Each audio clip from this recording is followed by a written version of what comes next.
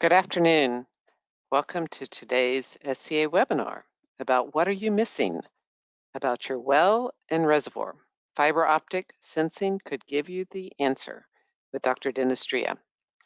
Before we start today's webinar, we'd like to ask a few questions about the demographics of our audience. So I'm going to launch the polling questions. And the first question is, what is your primary discipline?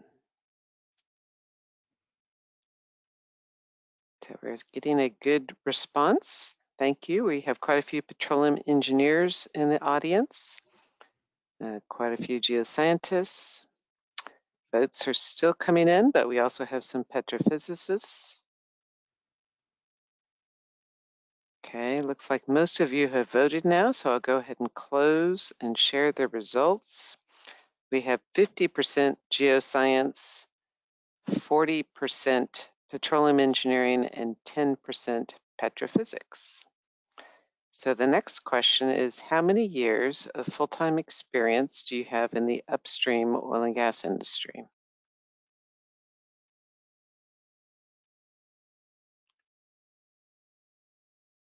Getting the responses, quite a few of you have over 30 years experience and also a good sized group in the 21 to 30 year range.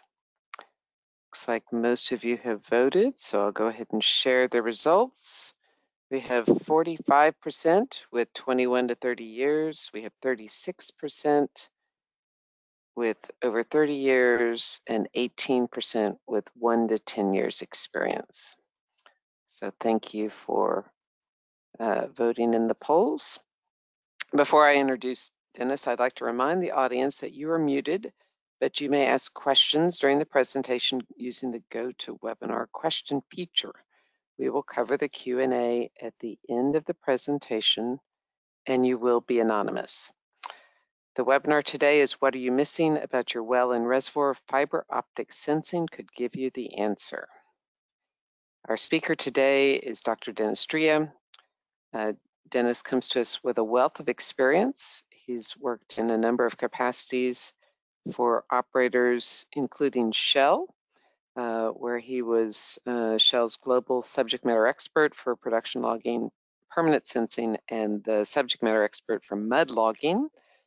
He has quite a bit of experience in petrophysics in all areas. So the class that Dr. Dria teaches for SCA is in-well fiber optic sensing. That will be offered in person in SCA's Houston Training Center, November 6th and 7th. And we also have a class that's upcoming very soon. Uh, Dr. John Lee will be teaching PRMS and SEC reserves and resource regulation.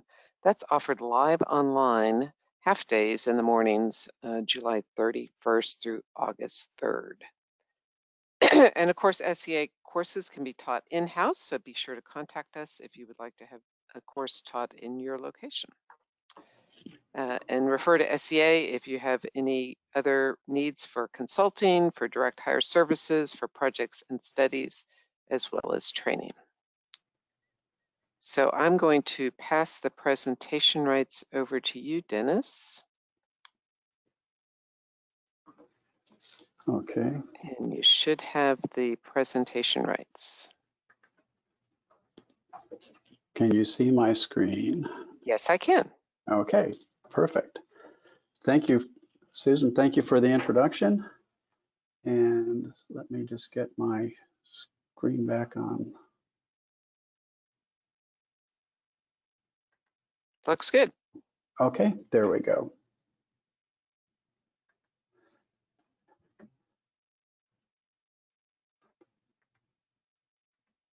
Oops, let me I am locked up here. There we go.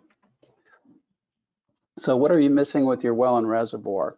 Uh, and I do want to stress that although we'll be talking primarily about measurements in the well, that we will be getting information about the reservoir, particularly near well bore, but also a little bit out into the reservoir.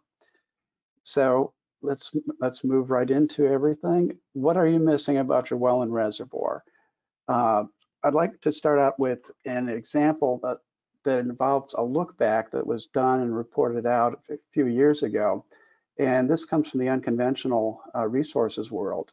And there were a variety of reports that uh, that came out from major and well as independent operating companies that uh, identified that they were having underperforming wells or sections of their wells were thought to be underperforming. Uh, they primarily uh, identified that via running production logs and things such as that. Uh, they found, for example, in one Eagle Ford well that that between 10, or excuse me, that 10 out of 14 stages showed interstage communication. So from one reason or another, they were uh, having communications from one stage into another, production showing up into uh, from one stage into another, and so on. Uh, their diverter response was fairly inconsistent, and this led a result, or excuse me, uh, results like this uh, led to a multi-basin look back that was performed by some folks at, at Halliburton, uh, where they found, uh, very surprisingly, that they had communication seen in 40% of their frac stages. So 40% of the uh, of the frac stages were performing, uh, most likely underperforming because of this this communication issue, cross uh, cross stage communication. Uh, they also found that the average pump volume leaked per stage was as much as 45%. Now that is a lot of fluid that you're losing that, that is not being effective in, in stimulating the reservoir. Uh, it's a lot of energy that's being used to do the pumping that is not being used to stimulate the reservoir. That, that, may, that all corresponds into a lot of cost. So in addition to having underperforming uh, assets, underperforming wells, uh, the, the costs were much larger than, than they should be. Um, they found, for instance, that increasing to more, at that time, increasing to more than three or four perf clusters led to non-uniform fluid distribution. And with that, uh, I want to use that as just as a lead in. Um, if you always do what you've always done, you always get what you've always got, attributed to Henry Ford. So it's it it reinforces the um, uh, the notion that if you get information, if you suspect you have a problem, sometimes even if you don't know that you have a problem, getting more additional information, you can reduce your uncertainty, be able to change what you have been doing, uh, sometimes slightly, sometimes drastically, and end up with something that is is it can um, quite a bit improved. Some examples of this, uh, again, staying in the in the unconventional world, uh, the EUR uplift observed for refrac, refracs, uh, and this was uh, through fiber optic sensing. They found that they had uh, primarily fiber optic sensing.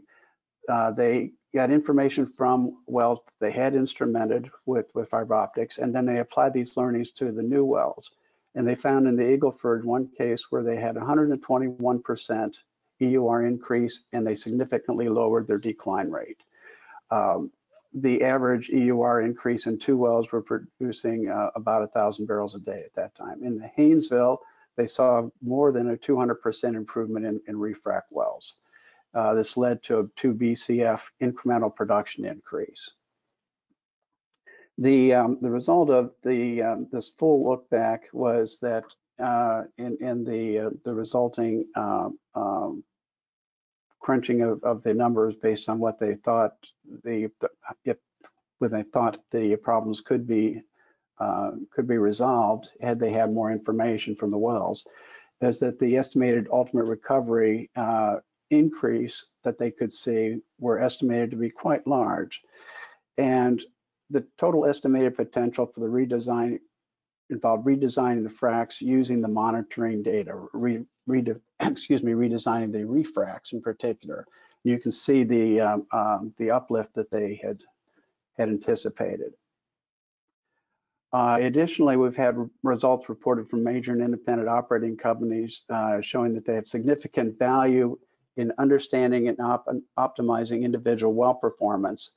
But the greatest value is extracted from learnings that they use in the new wells and new fields, being able to use information they get from this monitoring and uh, the, the, tweaking of their processes based on that to, uh, uh, to calibrate their models or recalibrate their models, uh, to optimize hydraulic fracture stimulation and by doing things like increasing the frac efficiency, reducing the costs, and stimulate more stages. And really important is the having an increased understanding of the reservoir, being able to use that information for better well placement or changing the total well count and things like that can lead to a, a much improved EUR. Uh, the references I show here uh, from uh, from several different companies, uh, both large and small, uh, from from examples, for example, from Shell and and Devon. Um, the uh, reporting from uh, taking some information that was from the from ConocoPhillips, uh, they have uh, had a, a uh, significant number of instrumented wells that they've put together uh, where the primary monitoring installations that they've used or intervention in, sensing that they've used involved distributed temperature sensing and, and distributed acoustic sensing, as well as pressure and temperature gauges. And combining this with, with microseismic, uh, they found that they got a better understanding of the physics of the reservoirs they were draining. Uh, this allowed them to calibrate the models with the data and the learnings that they had obtained from these, uh, these instruments that they put into the well. And they applied the learnings from these wells. And again, this was a very limited number of wells, but it, they were well-designed uh, experiments, if you will. And they used that to design the future wells, affecting such things as the completion design and the well spacing. And their estimate was that they increased their total resources by 39%. Uh, so this is based on having, you know, the same assets, but seeing an increase in the in the resource via about a 700 million barrel increase from 1.8 billion to 2.5 billion barrels. So those are significant numbers. It tends to uh, to be very convincing to um, uh, to to really get the understanding that you need and to get the right information to um, uh, to apply it for improving your your bottom line. Uh, another example came from BP and Lewis Energy in the Eagleford uh, using their instrumented fiber optic instrumented wells, which they um, uh, they call their geoengineered wells, using uh, distributed temperature sensing, distributed acoustic sensing. Um, in some cases, the uh, they had used, I believe, a, a wireline cable that had a fiber in it to to make some of their um, make make some of their fiber optic measurements. So they were able to uh, to do it at a, a, reasonable cost. They added complementary uh, surveillance technologies. let me go grab my pointer here. Sorry.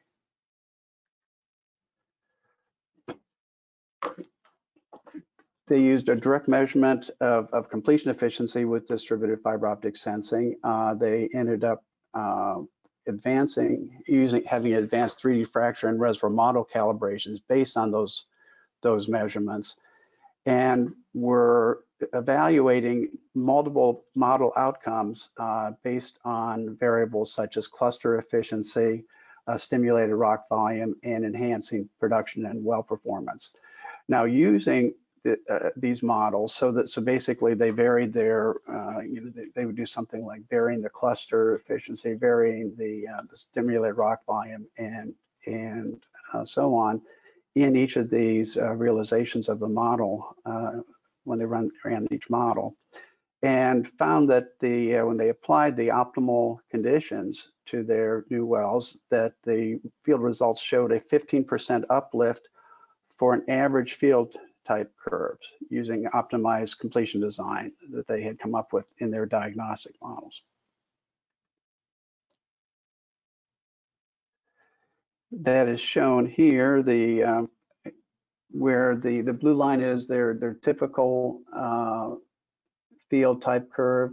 And the red dotted line is the, uh, this is the initial red uh, production and so on. You can see the uplift they have. So a very significant, uh, significant improvement was seen. Uh, intelligent well control for reservoir management and optimization. Uh, this is an offshore example, offshore Norway, you, again using fiber optic sensing. In this particular case, it was for a uh, an offshore platform well where they had 24 well slots of which, and in those, they was at that time that this was uh, this data was gathered. There were 16 producers, uh, one gas and three water injectors, and then four water alternating gas. So these were CO2 uh, WAG injector wells.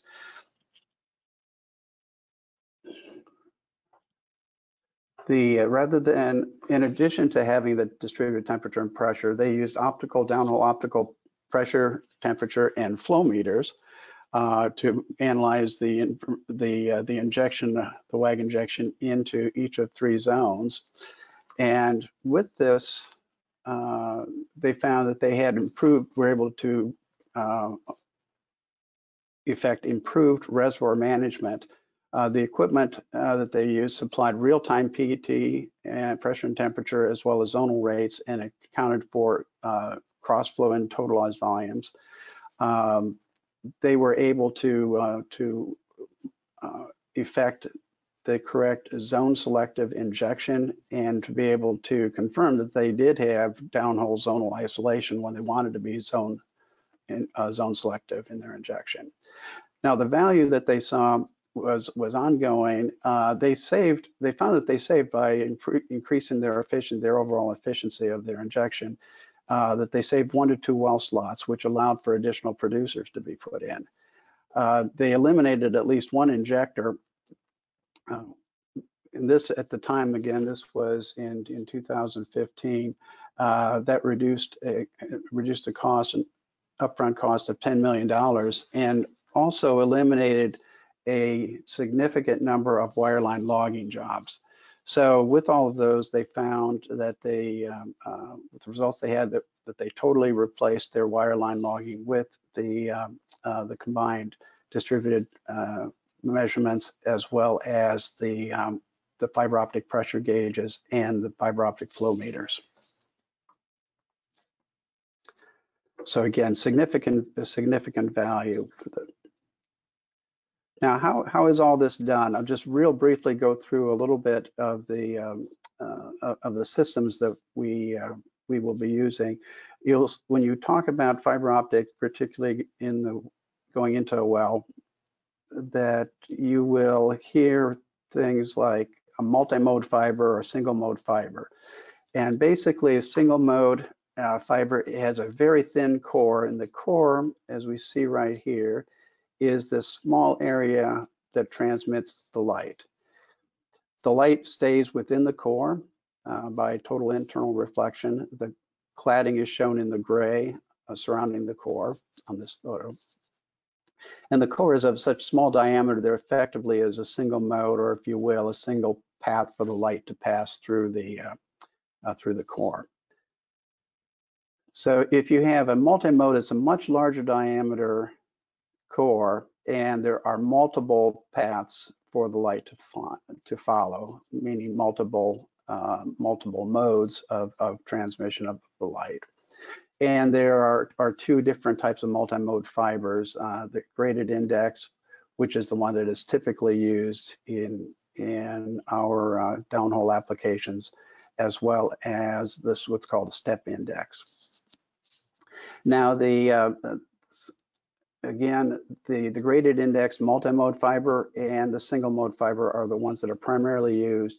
DTS, distributed temperature sensing, largely uses uh, the, uh, the multi-mode fiber. Uh, the distributed acoustic sensing and distributed strain sensing usually use multi, or excuse me, usually use single mode fibers. Uh, it just ends up with a higher quality of, of, of, um, of data that you get out of it. The um, although there you can run DTS on a single mode and you can run DAS on a multi-mode, It's just um, might affect the overall quality just slightly, but still can get very good results. And I'll show some some very good results from multi-mode. Uh, actually, some VSPs from that were acquired by multi-mode later on in, in this talk. So uh, with this, the fiber, the light uh, is used to get information from some type of a transducing element or a sensing element. And we have basically three configurations that we'll look at. Uh, the most common one that you will hear about is this distributed sensor, and that is one in which the fiber itself is a continuous sensing element. So light shines down the fiber, and there are multiple reflection points or scattering points. We call them scattering centers. And these are inherent or intrinsic um, uh, heterogeneities in the, the glass structure. So you get a scattering and a portion of the light is trans is reflect basically reflected back or, or scattered back up the fiber back towards your your instrument, towards the surface.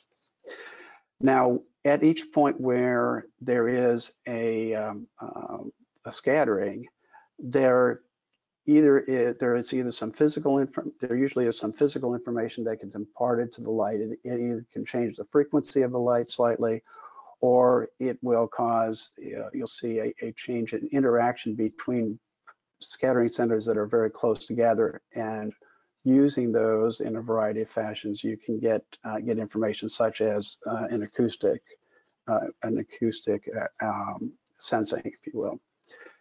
Uh, on there are single point sensors, and these are include the uh, the example that I'd shown for the the CO2 injection monitoring that was done in Norway, offshore Norway, in which you add a sensing element. Again, this is an optical element of some type, but it is you know a packaged element light travels down the fiber. The fiber itself is really just the transmission line in this particular case. Uh, when the light packet gets down to this sensing element, it interacts with something in the elements, uh, the structure of the element, something that it, in the structure that uh, makes it a transducer. And the light is returns to the surface, and it, with it, it carries that information that it obtained in the, this uh, optical sensing element or transducer. So this is the basis for the pressure temperature gauges that I had shown in that, that offshore Norway example, as well as for the flow meter, the multi-phase flow meter that they used, which was uh, totally uh, based on, on optics. There is another category which is uh, kind of in between where you have a large number of single sensing elements and by large, I'm much more than just multiplexing, uh, you know, 10 or 40 or 100. We're talking about adding effectively several thousands of these sensing elements, uh, typically in the form of, of fiber Bragg gratings. And this allows for specific information, but that is very, uh, uh with a very high sensitivity and a very uh, high signal to noise ratio to, uh, to be returned with, with some very significant information. So single point sensors, these quasi-distributed sensors, and the ubiquitous uh, distributed sensors. For each type of these, right now commercially available, we have, for example, the um, for a single point sensor, we're able to measure pressure, temperature, multi-phase flow, strain, acoustics and as a subset of the acoustics, seismic. Uh, in the multi-point or quasi-distributed, we uh, we see that we see commercial applications for measuring temperature. Pressure is not quite available yet. It's sort of available, but it's not uh, it's not widely used because of the, the accuracy and, and so on. But we make temperature measurements, strain, and also having enough of these elements, these quasi-distributed sensing elements, that we can actually reproduce an image of the strain. For instance, if we take this fiber and deploy it on a mechanical body, we can visualize, using that strain information, we can visualize the change in shape of the body. For distributed sensors, we see uh, that uh, very typically we will measure, and th these were the first uh, fiber optic measurements, first distributed fiber optic measurements that came out in oh, about the mid 90s, uh, which was using Raman techniques to, uh, to measure temperature along the fiber. So using a Raman or a Brillouin technique, measuring temperature, we're using what's called a Rayleigh backscatter technique. You can make temperature measurement. Uh, pressure has been attempted and it is uh, something that people are still working on in order to be able to get uh, sufficient accuracy, um, as well as the, the deployment uh, challenges and chemical is is something that has uh, surfaced and is resurfacing again as as a significant need. It's partially available. Uh, the applications for chemicals are chemical sensing, distributed chemical sensing, and fiber using fibers is uh, there's quite a need for it in the carbon capture and storage uh, realm. Uh, acoustics uh, using Rayleigh backscatter. So that is a typical DAS or DAS, distributed acoustic sensing, that uh, started to become available in around 2000, uh, 2010, 2011, very in a very uh, wide range, and actually overtook uh, distributed temperature sensing as the primary attention getter in the, the fiber optic sensing world. Uh, also, interestingly, to measure strain. So we see that there, as listed here, there are a variety of different uh, techniques that can use fibers to measure strain. And by strain, uh, these you know, strain measurements are things such as uh, having tubulars, being able to watch tubulars deform. Uh, you're able to look for fractures opening and closing, things like that uh, that there are three primary technologies that are used currently, particularly in diagnosing um, and, under, and getting better understanding for hydraulic fracture stimulation. Those are uh, the Brillouin techniques, the Rayleigh backscatter techniques, and there are two of those. One is the DAS and the low frequency DAS, and something called distributed DSS, distributed sense, excuse me, strain sensing, using Rayleigh frequency shift. And I will talk about that in just a couple of slides. So how are these uh, how are these fibers used in the well? Uh, here is a typical configuration. Uh, we have our cartoon of a well. This has shows casing. It's a cased well, has production tubing or injection tubing in it. In the center here, we've got some packers. Uh, the fiber optic cable is actually shown here deployed and it will be attached or clamped onto the, uh, the production tubing. Uh, these things called DMCs are dry weight, dry, excuse me, dry mate connectors. And they are able to connect through pass-throughs on things like the packers and also the wellhead outlet. And what these allow is pressure isolation uh, from uh, from the top through to the bottom of the of the uh, the pressure control device. In this case, the packer. And we show that on this example, we have at the termination of the of the fiber cable, we have a temperature pressure sensor, again an optical gauge. It is mounted in a side pocket mandrel that is very similar to, uh, almost identical to the uh, side pocket mandrels that that uh, are designed for, for pressure gauges that are currently used downhole. Comes out of the well, goes through the wellhead outlet, which is a uh, it's a pressure control device, basically, goes through a surface cable and into the surface instrument. So this is one in which the, the excuse me, the, um, uh, the fiber is attached to the production tubing we have one, uh, there's another variation. This is used quite often yeah, when in unconventional wells, those long laterals even, uh, where the, um, the optical cable is clamped to the outside of the casing and as the casing is run in and then it is cemented in place. So you get information uh, that is obtained right on the outer, basically the outer wall of the, of the casing, but it's also in intimate contact with the formation uh, with a, with a um, uh, a little bit of a connection through the, uh, uh, the cement sheath. So this is a permanent fiber optic cable installation, typical one that we would, would see. Uh, there also are ways to, uh, to basically do a fiber optic logging uh, through some type of an intervention where the, um, uh, the cable would be lowered or pushed or somehow carried through uh, an, an, opening either the through the um, production tubing or through one of the annuli.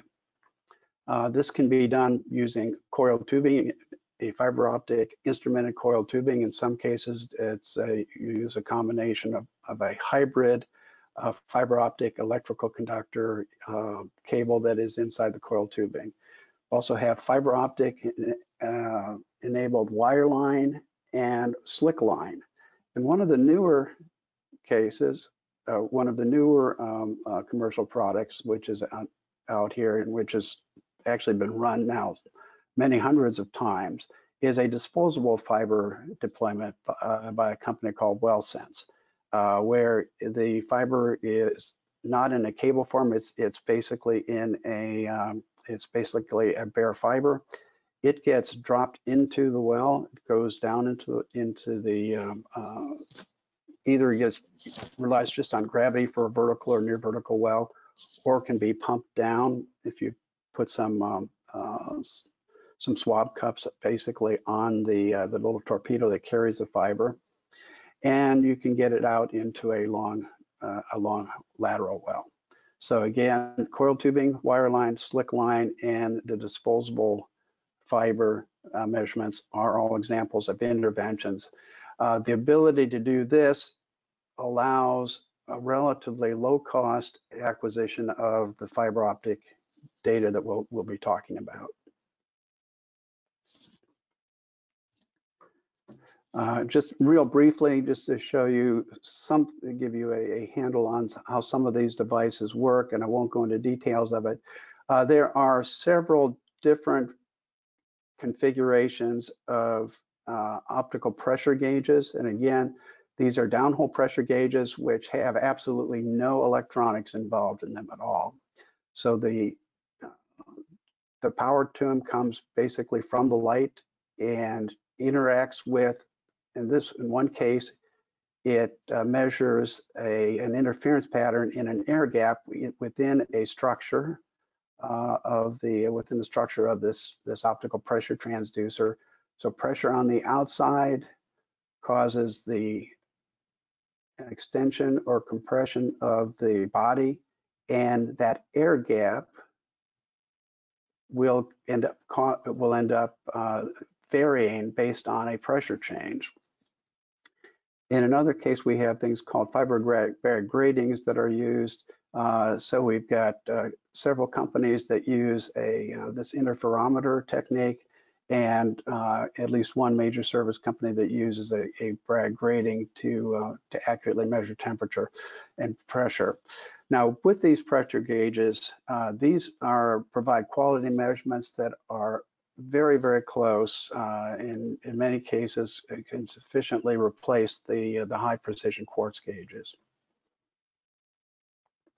Um, likewise, in another single point sensor, this multi-phase flow meter, I won't go into the details, but basically it in a, um, a mandrel that is added to the production tubing uh, which has a full bore, so no internal upsets in the diameter of the of the production tubing. It makes a measurement of the of the bulk velocity and the speed of sound and the temperature and pressure. And with all of that, we're able to determine what the water cut is and to determine the oil rate and the water rate. So these are uh, some with something like a 5% accuracy, which is an extremely good uh, downhole measurement. Actually, it's an extremely good even surface measurement if you were to use it for that. So excellent uh, multi-phase flow meter with some references for the uh, uh, for, to describe the uh, the development and, and, the initial installations and and uh, validations. So uh, again, going back to the single point, quasi-distributed and distributed measurements. We talked about the, the pressure measurements and temperature measurements using uh, this uh, external Fabry-Perot interferometer type of technique, where the glass fiber brings a pulse of light down and it reflects off of one surface and then continues and reflects off the other surface. And the interference pattern that gets obtained from that reflection is recorded. As you apply pressure, the shape of this will change. If, if you apply pressure, typically it would elongate, which would increase this air gap, and it changes from one type of interference pattern to another. And you character use this change in interference pattern to characterize, actually to, um, um, it's calibrated to give you the, the pressure change and hence the, the absolute pressure that you have.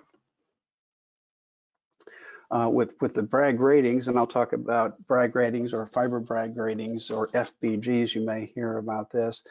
Uh, in the core of the fiber, typically a single mode fiber, you have a series of uh, increases in the uh, re refractive index that's that's uh, uh, imprinted in the core via the manufact during the manufacturing process, the fiber manufacturing process. And as light comes down here, it reflects off of each one of these surfaces, if you will, each one of these bands of, of varying uh, index of refraction and comes back. So as light transmits through, you get a what's shown as the screen pulse. So it's a characteristic uh, reflected spectrum. This gets reflected, the single wavelength of light gets reflected back to the surface and collected. If you strain the uh, the glass glass fiber in this place, if you uh, if it's for example bonded to a diaphragm or if it's simply strained by some other uh, technique by by stretching, uh, you'll try you will increase the separation between these bands of index, varying index, refractive index, and that will end up causing a shift in the returned pulse of light, the reflected spectrum. And you can directly calculate from this strain-induced wavelength or frequency shift of the reflected spectrum uh, what the pressure is. So it's a very well behaved uh, gets calibrated on the surface and extremely good um, uh, and robust and accurate can provide an accurate and robust pressure measurement or temperature measurement. Uh, in the, uh, the, the fully distributed light uh, or distributed sensing, the laser and the surface instrument will transmit a pulse of light. It will scatter basically at every point along the fiber and you'll get information back. The, uh, the distance of the particular sensing point is basically going to be described by the two-way travel time of the pulse going down to that and then the reflected or uh, back uh, the back reflected light coming back. So at each point along the way, you, if you collect this as a function of time, you will be able to deconvolve that into a length of fiber. Now with the, um, if you have no uh, other interactions, and this is the case in, in a large number of, you know, probably 99 point plus percent of the, uh, the light that you get reflected back, is going to be of the same wavelength as the transmitted laser light, this lambda naught. That is referred to as a Rayleigh backscatter. Now there is a portion of light that undergoes a spectroscopic shift, and there are two different uh, frequency shifts or wavelength shifts that occur. One is called the Raman effect, and the other is called the Brillouin effect. These are able to provide you with information such as temperature and strain. Uh, with the Raman, we see that we are able to get a very, you can make, have a very high, uh, a, a temperature measurement that has very high sensitivity. Uh, it's very weakly, very weakly responds to strain. So that makes a good temperature measurement. This Brillouin effect uh, will be having strong uh, sensitivity both to temperature changes as well as strain changes. In other words, the fiber lengthening or, or, or shortening in this distance of uh, over which it's uh, interrogated. So you get a temperature and a strain, uh, combined temperature and strain effect, and then you can, there are ways that you can deconvolve that using various technologies. The, uh, the Rayleigh backscatter is the primary peak that is going to be used for, for DAS and uh, distributed, the Rayleigh frequency shift uh, distributed strain measurements. So DAS and distributed strain uh, using Rayleigh frequency shift will be using the Rayleigh peak. Um, talk just real briefly about how DAS works. Uh, if we have the fiber shown here, and we have a pulse of light, and it's a very short pulse of light, we see basically what, what the size is of this pulse of light. At one point, it's going to uh, reflect information from this, this point, and then after a certain point in time, the pulse will have traveled, and now it is going to be basically interrogating this portion of the, the glass fiber. So this, this DZ that we have, the separation between this distance that the light pulse travels in one sample time to the next, excuse me, is called the gauge length. So when you work with uh, distributed acoustic sensing, one of the instrument settings that uh, everyone will be paying attention to and quoting is what is the gauge length of the measurement that they made.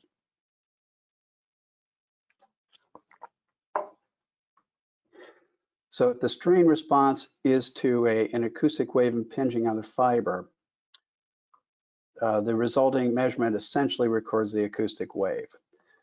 So what what act and this response that we're talking about here is is actually the um, uh, when the distance that it travels, uh, you basically will look for a change in this distance that it travels over a particular length of time, and that is reflected in basically in, in this travel time. And you directly can calculate the strain from one sample to the next. If it's uh, uh, if the response is due to an acoustic wave uh, causing a lengthening or shortening of, of the fiber, uh, you're essentially record, recording, able to record the acoustic wave by integrating these strain changes. Uh, if your uh, strain is a quasi-static or, or, nearly static mechanical deformation, so if you're basically bonded or, or connected to the to a rock wall, and you have a, a deformation of that rock, for instance, a fracture opening, this response provides what's essentially the strain rate, and then you integrate that strain rate to provide the fiber strain. So that's, uh, and that fiber strain then can be used to estimate what the strain is of the, the reservoir. Okay. Uh, just real briefly through this, we have something called the Rayleigh frequency shift. Uh, uh distributed strain sensing, in which case we see that we have a pulse of light coming down. It reflects off of the scattering centers. the back reflected light uh, ends up providing what's with a spectrum. We have uh, the, these scattering centers are depicted in this cartoon by these red dots. If you compress the fiber, these red dots get a little bit closer together. Um, in the original fiber, you get a particular spectrum that comes out. With the compressed fiber or extended fiber, you're going to see a shift in the spectrum, the reflection spectrum. And you can use this to get the, we show here the before and after. So the baseline is shown in blue, the shifted spectrum is shown in red, so that's under compression. you run a cross correlation we find that if we shift this, which ends up being like minus 34 or 36 uh, uh, gigahertz, you get the red and the blue overlaid. This frequency shift can be used to calculate the strain, change in strain, and the change in temperature by very well-behaved functions. And in order to deconvolve the strain and the temperature, you can do one of two things. One is there'll be many cases in which you can assume that as strain is occurring, temperature is not changing, so you can simply assume that the uh, all of the strain is due to the mechanical strain, or excuse the frequency shift is due to the mechanical strain. Uh, the other is that you can make an independent temperature measurement, and you can use that fiber also to make a distributed temperature uh, measurement and use that to, to correct it to be able to calculate what the effective strain is. A great application is shown here, in, again, in the unconventional world. Uh, this is uh, showing two different stages, the stimulation of two different stages. And what we want to show. This is a distance plot. This is a perforation cluster, excuse me, the shows the perforation cluster locations for uh, stage A and then likewise for stage B.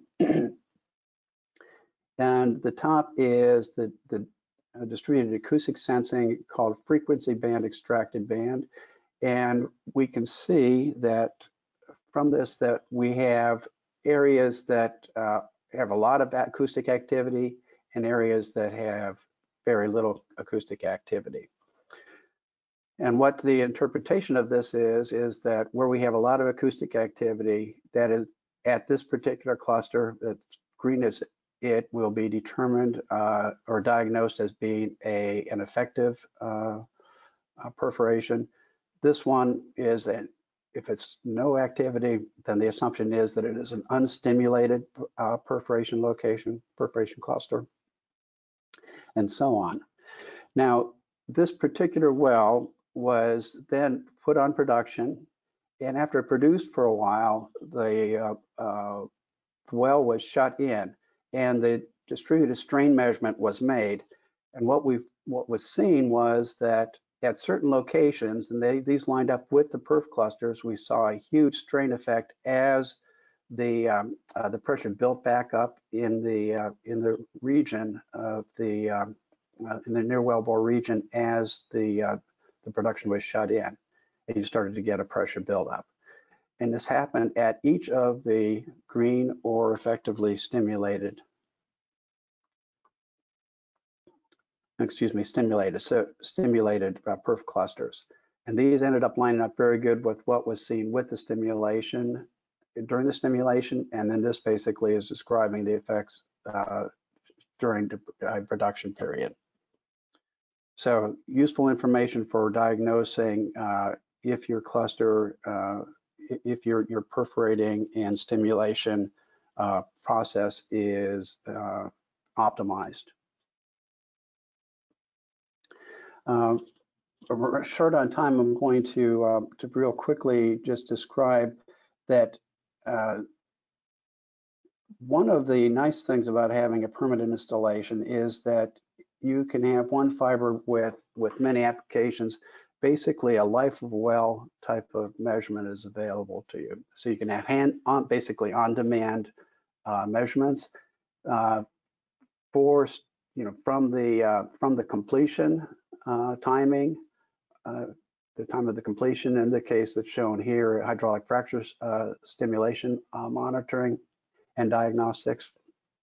You're able to acquire passive seismic and also do you by that uh, is the acquisition of microseismic monitoring during the fracturing process.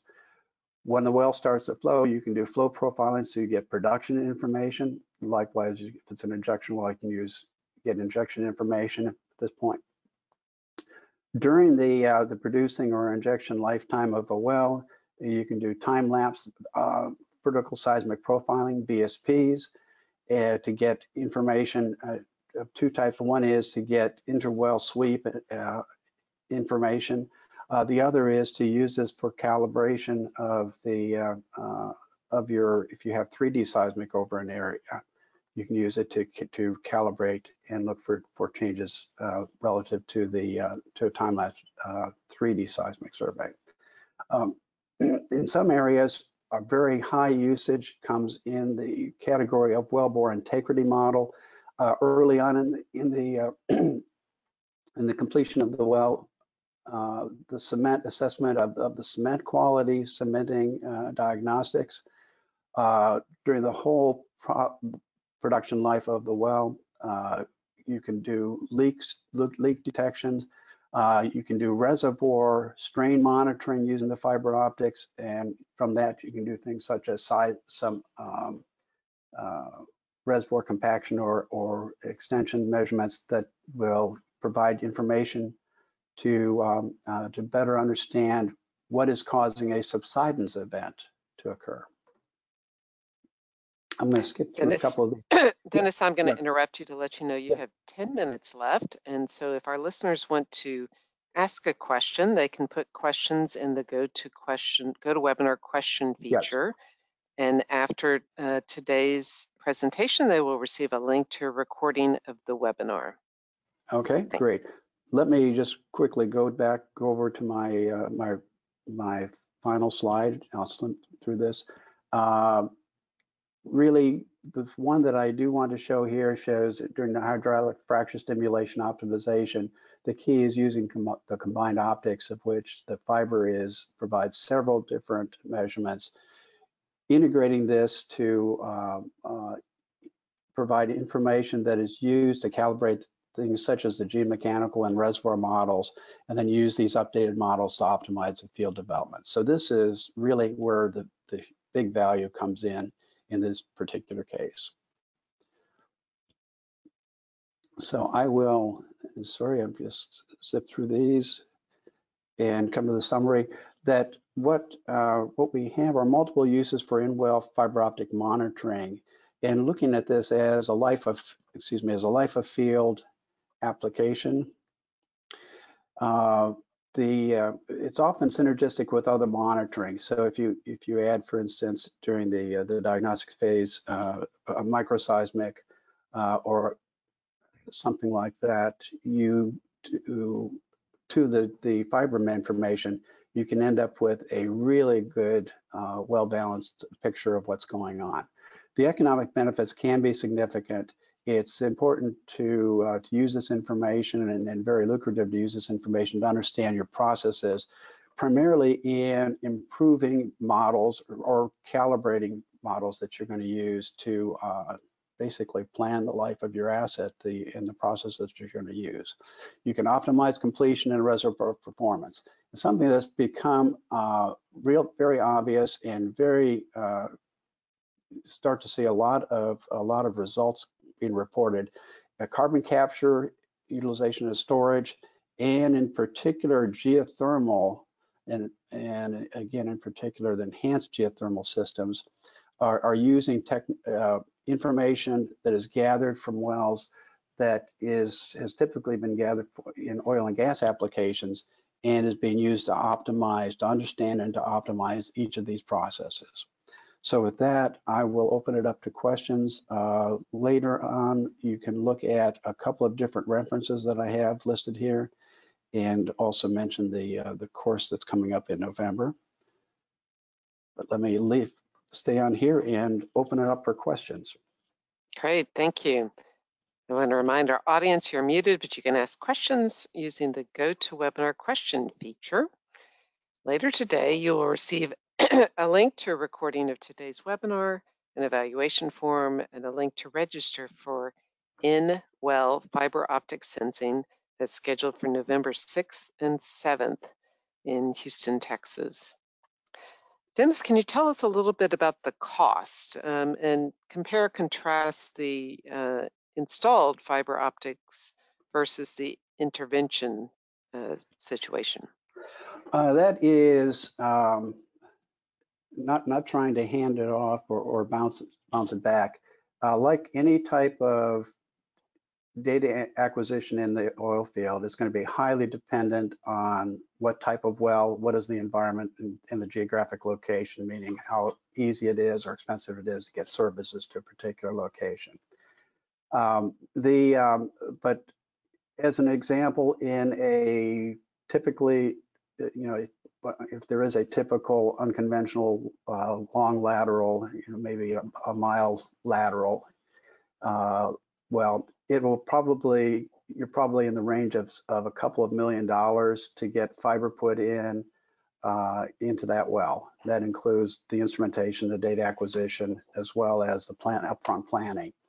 Uh, something in the range of between a quarter and a half a million dollars, uh, but probably closer to a quarter million dollars for a uh, for the acquisition using a wireline intervention with with fiber in it to be able to get that all the way down into that long lateral to do a similar type of, of measurement. Okay. Great. Next okay. question. What is your experience in using DAS as VSP? Is it comparable in comparison to conventional VSP? Uh, the um, the signal to noise ratio for uh, fiber acquired uh, seismic is is not at the same quality as um, geophones. Uh, that being said, rather than having, uh, you have two advantages of two in two ways. One is rather than having a dozen or 20 uh, geophones in the well, you've got a basically a geophone every every you know 30 feet along the length, entire length of the fiber. So your density, your data density is much larger. So you can start to uh, to get more information and use some techniques that will help you to get uh, to, to work with that signal to noise. Um, the um, so the qual the quality is not is is not quite the same, but it allows you to uh, to get the information on demand at the time that you want to get it without having to put anything else in the well. You don't have to have geophones. You don't have to interrupt uh, uh, production and so on. Can you talk a little bit more about the use of fiber optics for monitoring a CCS project?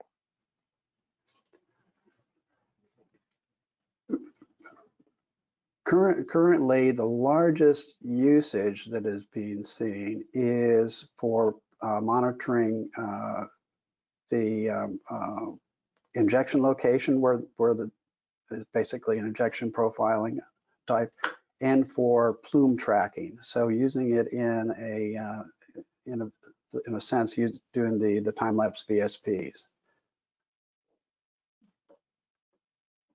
And how is uh, fiber optics being used for geothermal? Uh, in uh, there have been some. Uh, there are a couple of projects that are going on. There's a project Forge in Utah. Uh, this, these are projects in the U.S and then also a, a project that was recently announced by, uh, the results of which were announced by Fervo Energy. And in these, both of these cases, um, uh, the main use has been to be able to do the fracturing of this tight or totally impermeable rock that they're trying to just get fractures in, uh, the stimulation of that rock so that they can connect between two well bores.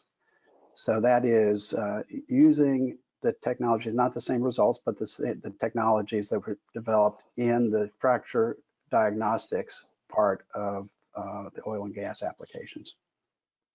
In single mode, what is the diameter of the core? And for multi-mode, what is the diameter of the core? Uh, for multi-mode, it's, it's uh, I believe that is like around 60 or 65 uh, microns, micrometers. Uh, for the single mode, it's uh, they're typically seven to 10 micrometers. If you use the same fiber measurement to estimate both temperature and strain, won't it be non-unique?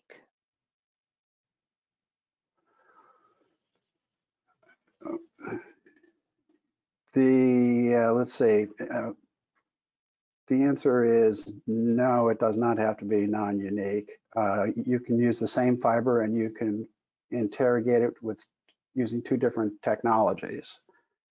Uh, so you could do a, uh, a Brillouin measurement. It could you could also do a Raman type measurement on it, and use that to help deconvolve the temperature from the strain. Uh, you can also uh, there are ways to work with the data to be able to de better deconvolve through some different uh, uh, some different processing of the signals. So you can, it is possible, it's routinely done to, um, uh, you're routinely able to, to deconvolve. If you're using it for a, uh, for like a Rayleigh frequency shift, uh, then typically the same fiber can be used, or usually an adjoining fiber would be used for uh, making a DTS measurement, and then that temperature could be used to correct or to to, um, uh, to, um, to provide the basically the number of of equations that you need for the number of unknowns. And what is the life of DAS in well monitoring? What is the life? I'm I'm not sure I understand that. Can an installed um, DAS be used for the life of the well? Uh, so we're we don't want to think about it as the life of the D, DAS. We want to think of it as the life of the fiber op, fiber installation itself. As long as that fiber stays in and has not been broken or uh, degraded in any fashion, it can be interrogated with a DAS instrument or any other instrument for the lifetime of the well or actually the lifetime of that fiber. Very good. Well, thanks everyone for your questions today. Later today, you will receive a link to a recording of today's webinar, an evaluation form, and a link to register for in-well fiber optic sensing scheduled for November 6th through 7th in Houston, Texas. Thanks very much for joining us. Goodbye.